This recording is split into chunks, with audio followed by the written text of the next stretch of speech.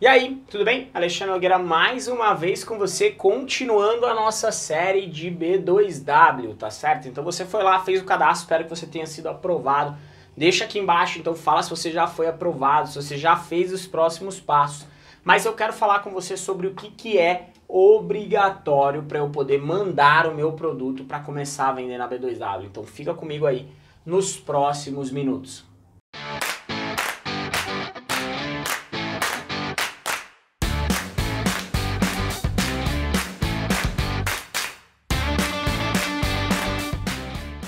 Bom, antes da gente continuar falando sobre isso, né, sobre B2W, tenho dois recados para você. Fica comigo aqui para você entender, né, o que você precisa para mandar o produto. Mas se você não vende na B2W ainda, aqui embaixo tem o link de cadastro. Se você não sabe como vender dentro da B2W Marketplace, né, que Submarino Shop tá em Americanas, tem o link aqui embaixo também do nosso treinamento gratuito para você entender mais sobre o que é B2W.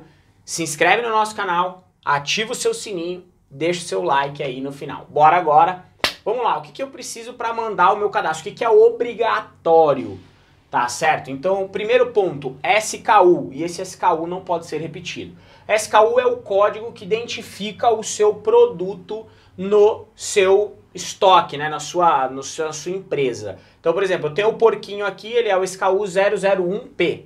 Eu tenho a maçãzinha aqui, ele é o SKU 002 M ou 001M. Então ele pode ser, ele normalmente é uma sequência de letras e números, normalmente tem muito sentido com o que é o produto, mas não existe uma regra, a B2W não vai exigir que o seu SKU faça sentido, tá? Se ele fizer sentido para você, é o que importa. Eu não gosto de ficar falando e colocando regra em SKU, porque eu acho que não tem necessidade em todos os casos, tá?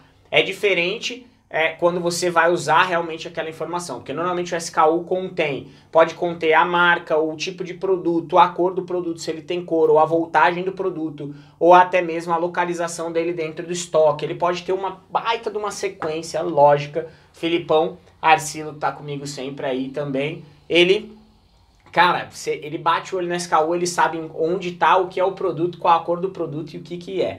Mas tá? O SK, a única coisa que ele tem que ser um número único. Se eu mandar 001 pro porquinho, eu não posso mandar 001 para maçã, ok? Se eu colocar um P e colocar um M, eu já posso mandar.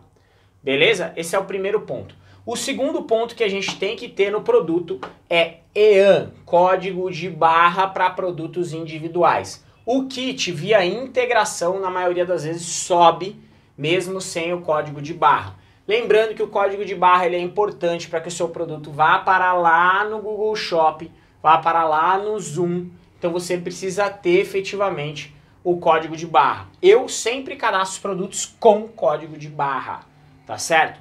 Um outro ponto que o seu produto vai precisar ter é foto, né? Foto mil por mil, fundo branco, tá? A primeira foto, fundo branco. As próximas fotos podem ser ambientadas? Sim. Ale, eu entrei lá e vi que tinha gente usando fundo cinza, usando fundo preto, usando o nome da empresa na foto. Na regra, diz que a primeira foto não pode ter esse tipo de informações. Para evitar que o seu anúncio seja barrado, eu subiria com fundo branco, tá bom? E logotipo na B2W não pode, nem nas próximas fotos, tá certo? O próximo ponto que você vai precisar é de um título. Então, o título da B2W permite mais de 120 caracteres. Então coloque e use pelo menos os 120 caracteres do seu título. Lembrando que ele tem que representar o que é o produto, a marca desse produto, se tiver cor, a cor daquele produto, tá? Quando a gente vende produtos na B2W, eu não posso vender produtos sortidos. Então você entra lá no meu anúncio de copos, né? E aí eu coloco que é copo sortido. Vou mandar a cor que tiver no estoque. Na B2W isso não rola. Então, meu anúncio de copo laranja tem que falar que é o laranja e o meu anúncio de copo vermelho tem que falar que é o vermelho que está sendo enviado. Se for um kit, eu tenho que falar que eu estou mandando um laranja e que eu estou mandando um vermelho junto. Se eu vendo porquinho junto com a maçã, eu tenho que falar que o porquinho que vai é o porquinho branco junto com a maçã prateada. Tá certo? Seu anúncio vai precisar também de descrição. Então se atente e faça uma boa descrição. Normalmente eu pego primeiro o que levaria a pessoa a comprar aquele produto na descrição, depois uma parte mais técnica da descrição e aí por último faço um dúvidas frequentes, são perguntas que a pessoa vai ter dúvida. Ale, eles exigem que seja essa formatação? Não, mas eles aconselham que a descrição seja realmente muito, muito boa, tá? Por quê? Por questão de conversão. Se eu entrar no seu anúncio e eu ficar com dúvida, eu vou deixar de comprar o seu produto. E se eu entrar num outro anúncio onde eu não fiquei com dúvida, eu vou comprar de outra pessoa que não é você. Isso aconteceu comigo comprando amortecedor para o meu carro. Não ficava muito claro se vinha os dois lados do amortecedor ou não. Na foto tinha apenas um e o preço era um preço de dois. Só que como não ficava claro, eu comprei de outro anúncio, um pouquinho mais caro, mas que estava bem claro e nítido que eu ia receber os dois lados, que era o que eu realmente precisava.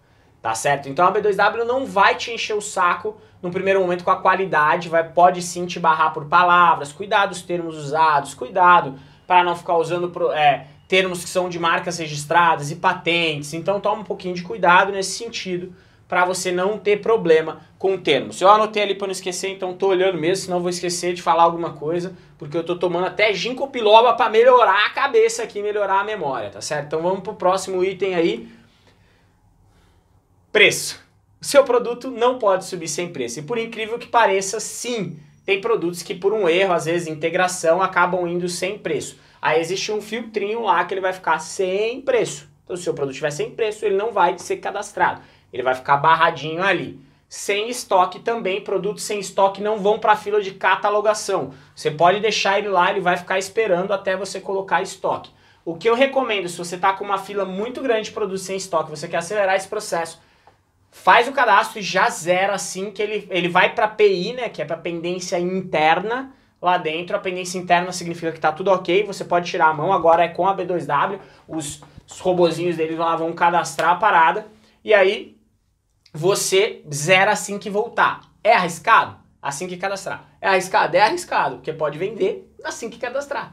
Então toma cuidado, mas você pode deixar às vezes lá sem estoque, tem no estoque, eles vão seguir o fluxo daquele produto, mas ele vai ficar num filtrinho sem estoque lá dentro. Próximo ponto, pesos e medidas. Então o seu produto não sobe sem você falar o quanto que ele pesa e o quanto que ele mede. Porque a B2W, diferente de alguns outros canais, sim, tá? Ela calcula o preço e o o preço do frete baseado no peso e na medida, tá bom? Então não esqueça de mandar peso e medida. E o próximo ponto, categoria, tá? Você vai precisar enviar do seu integrador a categoria para você fazer um depara bonitinho de categoria lá dentro da SkyHub e o seu produto subir. Se você cuidar desses pontos então, SKU, EAN, foto, título, descrição, preço, estoque, peso, medida e categoria, o seu produto sobe, sobe lindo. Existem algumas categorias que exigem alguns tipos de variações,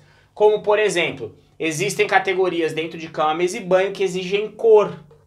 Então, se você subir sem esse atributo, ele vai dar o erro, mas é um erro muito claro que dá lá na SkyHub, onde ele diz que não pode subir sem o atributo cor. Tá? Se você não está familiarizado, olha, você falou SkyHub, mas eu uso, sei lá, outra coisa. SkyHub é a integração, é o hub, né? que foi comprado pela B2W, então ele é da B2W e ele é o caminho oficial para o seu integrador conversar com eles. Então o seu integrador bate aqui e aqui ele bate na B2W. Certo? Se você não tem integração, já quero te deixar um presentão, ó, rimou, que são quatro meses grátis de Bling aqui, tá? Então aqui embaixo tem quatro meses grátis e 10% de desconto no restante do seu primeiro ano. Então, do quinto mês até o décimo segundo mês, você tem 10% de desconto e depois ainda você vai começar a pagar né, o planinho de cinquentinha.